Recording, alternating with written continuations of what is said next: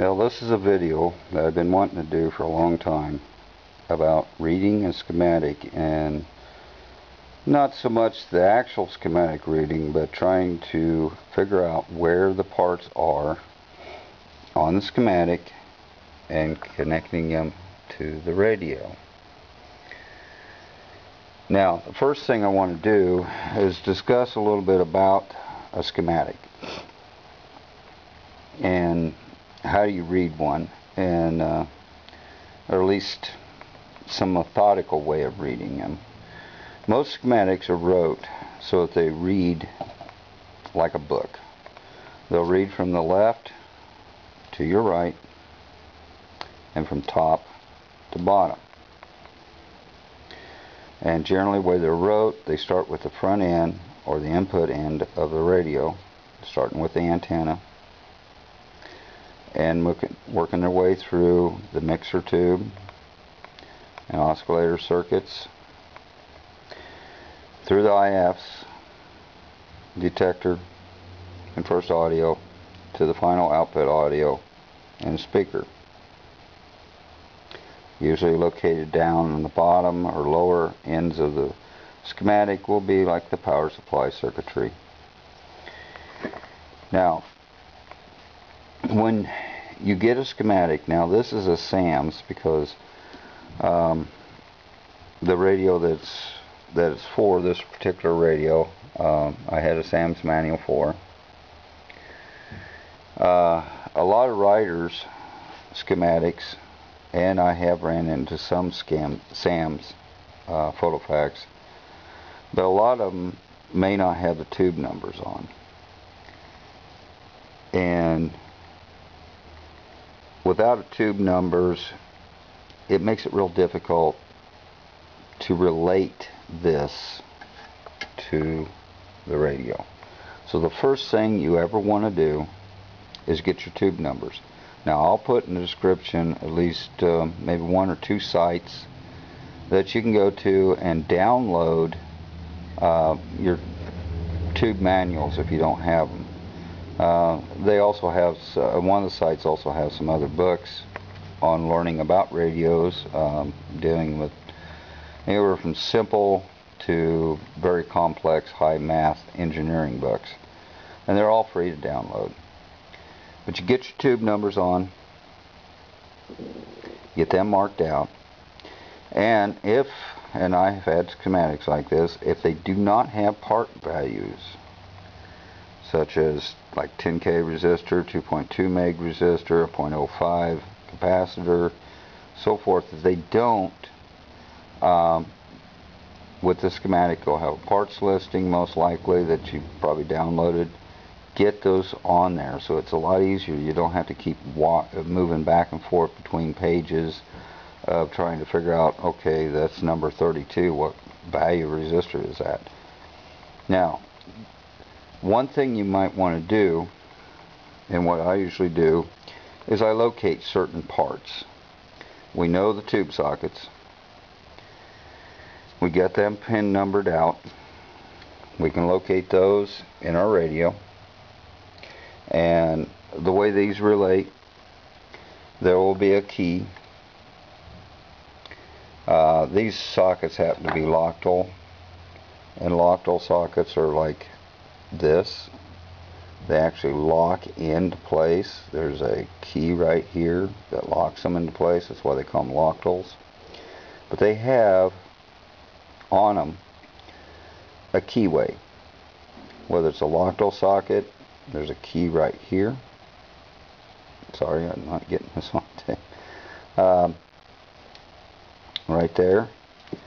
If it's an octal the key will be this plastic keyway. When you're reading pin numbers, you locate the uh, where the key is, which happens to be right there. The first one that is just to the left of that keyway is pin 1 and then you read them clockwise. So it'll be pin 1, pin 2, pin 3, pin 4, and so on. Now some octal sockets I've ran into actually has the numbers molded into the bakelite socket, but not all. So don't always hold that as a, a truth. Once you understand how to do that, you got that, you got the numbers here, you can start finding out what parts hook to them. Another thing to find is things like this band switch. Since this is a two band radio, it has a band switch. And what you do with that is you come down here and you relate it out and you find the band switches and you find how they're numbered and stuff. And one of the easiest things to do, um, some schematics will actually show a physical drawing of the band switch, usually from the back, and list how they're numbered. This SAMS does not, so what you want to do is start locating things that you know, like the antenna. You find it, you, you know where it's at. Um, I've disconnected this one from this radio, but if you follow it down, you see that it goes here, which is pin number 4, and that actually relates out to this point here. That also has connection down to a spot right down in here which is the shortwave antenna as well as an external antenna um, connection. It was a plug. So that's what this is right here. Now you can find this one which comes up here. It hooks to a coil and it hooks here. It also hooks down to this connection down in here, comes up, hooks here, onto this coil, and comes up here. So that's five. And then this one right here, which goes right down, this one right here goes down to this trimmer cap and also goes to a coil that's buried back here. That's pin number three which is right here and there's that coil and cap now by knowing that then you know that that's pin 3 pin 4 pin 5 so they're going in a counterclockwise direction. From that point this is pin 6 7 and so on which will relate on the schematic to different points. There's pin 6 there's 7 8 9 and so on. And you can start following these wires out and finding these locations. So once you find these switches, as well as your on-off and bass control, which Philco is notorious for doing, the volume controls up on top of the radio. But you locate those and you can locate them. This is the volume control. This is the bass or tone control. Here's the power switch you find these different components that's in the radio and you can relate them to the schematic then you can start making your connections you can make connections to each point and to the tubes. You can locate parts and stuff. Now one other thing you can do is some schematics Sam's real good about having them will have this which is a parts locator. And it'll show a good, it's an actual real picture of the radio. Now there's one thing missing in this radio because it wasn't even, it's been replaced a couple, three times and that's the filter capacitor which is wasn't done right. I already cut it out. But the filter capacitor is right here. But you can find these parts and they correlate to numbers here which then in turn correlate to numbers on the schematic such as 34 33 number 7 for your filter caps and so on. Another thing too is SAMs will have an upper view of the radio. This is primarily part of this is used for um, showing you where all your trimmers are so that when you do alignment of the radio. But it also shows the tubes and where they're located at. Each one has a part number to it and those will relate in the parts listing right here and tell you which what the tube is and that way you'll know where the tubes are And of course you'll have your alignment instructions. But back to this, once you know where the tubes are, you know what the pin numbers are, you know where your major components are like switches and stuff like that. Other things such as coils and stuff, they're easy to spot and they're easy to spot down here on the schematic. You find those and then from that point you can start breaking it down. Uh, the nice thing about Philco and some other radios is they have, if they have the original caps in them, they'll have part numbers on them. And those part numbers will correlate to numbers in the parts listing. So then you can look up this part number, find out what it is, and then you can find out where it's located on the schematic. Now that's not always going to happen for you, such as this. This little capacitor right here is not a Philco.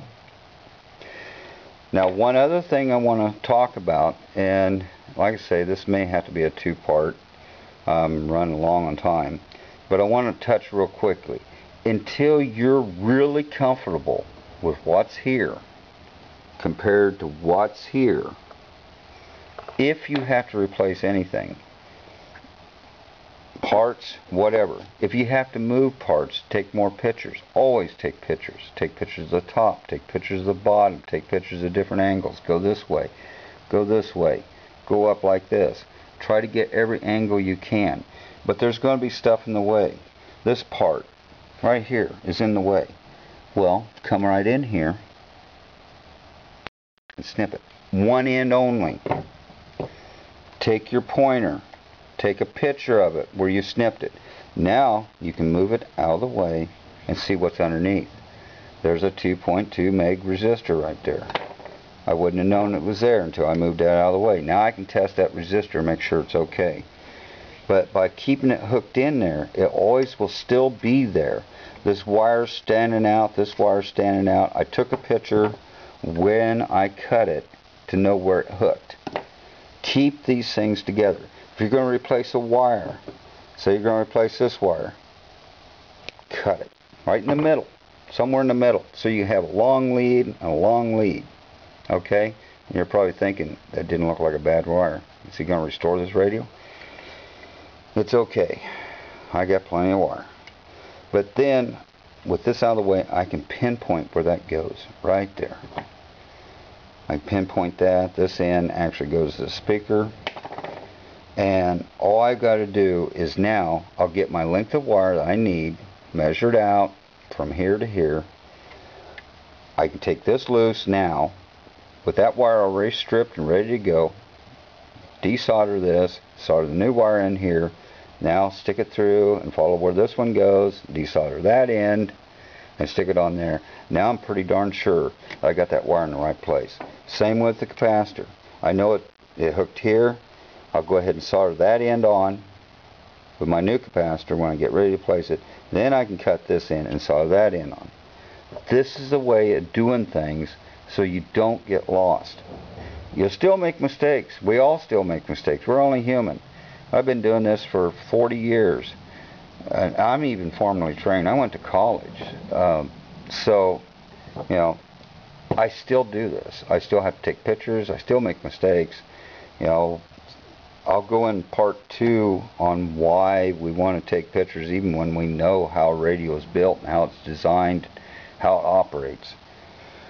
And uh, one other thing for future videos is I'm going to probably go through some theory and stuff because I believe that anytime you're going to work on something, whether it's for a hobby or, or livelihood, it is good to know how it operates. At least some general theory because that way you can it's easier to troubleshoot. So until later, and if you have any questions, write them in there.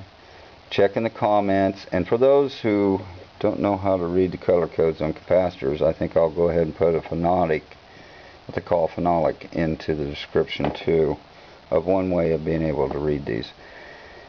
So, until the next video.